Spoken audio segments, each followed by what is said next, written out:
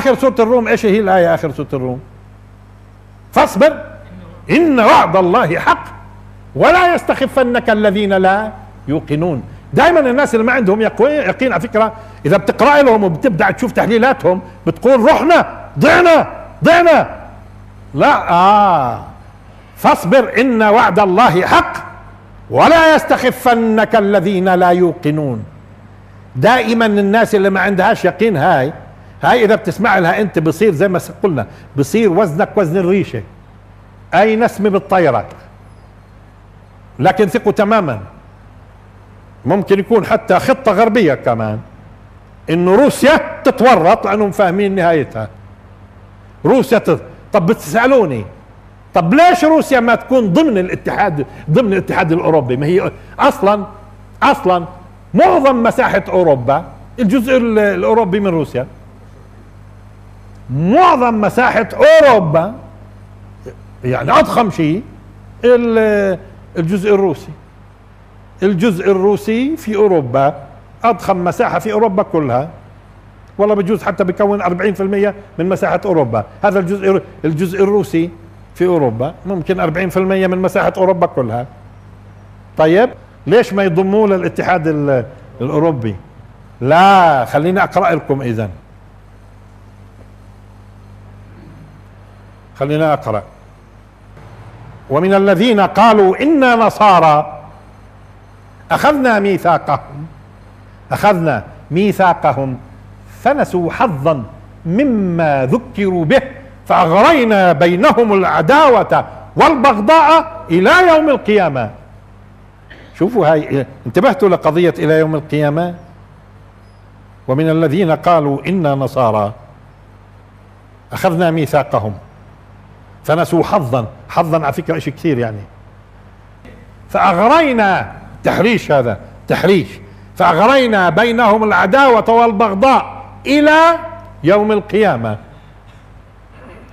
ولذلك هذا من من رحمة طب ليش؟ من رحمة الله سبحانه وتعالى بالبشر. أنتوا تصوروا لو كان كل من يقول أنا مسيحي نصراني؟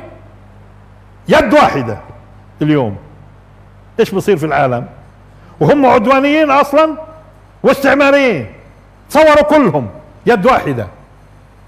إيش بصير في العالم؟ في زماناته لما في زماناته لما آه، محمد علي باشا ابنه إبراهيم زحف في الجيش وصل إسطنبول قرب يسقط الدولة العثمانية إبراهيم باشا. صدر له إنذار من وين؟ من الغرب.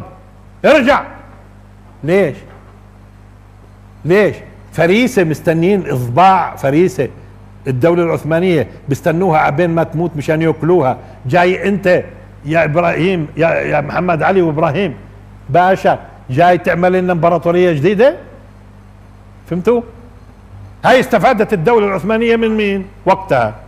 نابليون لما اجى هون وحصر عكا. هو بالكم بس بس الجيوش بس صمود الجزار والجيوش البرية. العربية الإسلامية آه، اللي هزمت نابليون؟ لا. وكان في ضغط كمان من البحر من قبل بريطانيا آه، آه، ضد الفرنسيين. مين استفاد منها؟ الجزار واستفدنا منها بفلسطين كمان. حصل. ليش جبت هذه الآية؟ هم ليش مش عم بتقبلوا روسيا؟ طب ما روسيا مسيحية. روسيا مسيحية. وأكبر مساحة في أوروبا. خليها تدخل ضمن الاتحاد الأوروبي. طب ما أنتوا دخلتوا دخلتوا دول كانت في حلف وارسو يعني كانت ضمن الاتحاد السوفيتي في حلفها ضد الأطلسي. دخلتوها في في الأطلسي ودخلتوها في الاتحاد الأوروبي. ليش روسيا لا؟ ليش روسيا لا؟ ما بتدخلوهاش. أرثوذكس. أرثوذكس. دين ثاني. الأرثوذكس دين ثاني عند الكاثوليك. البروتستانت دين ثاني عند الكاثوليك. البروتستانت دين ثاني عند الأرثوذكس. الكاثوليك دين ثاني عند الأرثوذكس. روسيا أرثوذكس. ولا بفهموني ليش. ما هم الروس خصوصا الروس الأصليين أوروبيين يعني بالنهاية. بالنهاية أوروبيين. ليش ما تقبلوهم؟ آه ما تظنوش إنه الجماعة يعني. حتى لو عملوا اتحاد أوروبي. حتى لو عملوا اتحاد أوروبي. إنه بتصفى بينهم. بتصفى ما هي تآمروا على اليونان. على فكرة على اليونان مؤامرة. على اليونان مؤامرة. وإسقاط يونان في الديون. وفي النهاية آه، آه، شراء بعض جزرها وكذا إلى اخره بالديون هاي. وجزر سياحية وغيرها. تفاصيل طويلة على فكرة في التآمر على اليونان. اليونان أرثوذكس. اليونان أرثوذكس. وذلك اليونان غالبا راح ترمي نفسها في حضن روسيا لقدام شوي تمام؟ لأنهم بيلتقوا. وبتعتبر روسيا حامية للأرثوذكس في العالم. وهي لافروف بقول لك حرب صليبية. حرب صليبية. ها؟ أه؟ طيب. فبالتالي لاحظوا.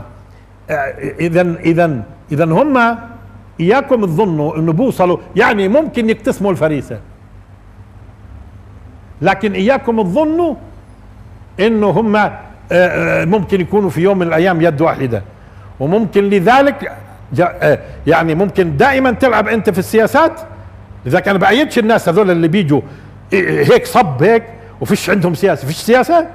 اللي ما عنده سياسة على فكرة معناته هذا في النهاية في بنجحش الأصل تلعب أنت سياسة. كيف الرسول صلى الله عليه وسلم؟ لما حاصروه آه، آه، حاصروا المدينة. كان الاقتراح من الرسول بس اقتراح. لكن لما وجد جنوده كلهم صامدين خلاص قال لهم شو رأيكم نعطي آه، غطفان جزء من ثمار المدينة؟ ويروحوا. ويروحوا عنا. لكن لما وجد إنه لا جبهته صامدة ومستعدة تضحي الاخير آه خلص بيلزمش بيلزمش وكان إذا أراد أن يغزو قوم يحالف القبائل اللي على الطريق. يعني أو يعني يهودنا معهم أو تفاصيل. في في هذه المسائل دير بالك أي إنسان بده يقود أمم لازم يكون عنده هذا الكلام. لازم يكون عنده هذا. بده يقود أمم لازم عنده أما هذا اللي بده يكون شقفة واحدة يقول لك ابدا هذا في الأخير بروح.